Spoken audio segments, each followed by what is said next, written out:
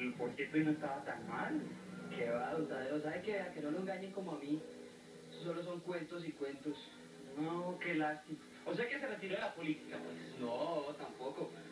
Pues a mí la política me gusta y todo, pero es que uno tiene que saber con quién se mete. Si no, vea, termina como yo, con un mico en el hombro y rajado literatura.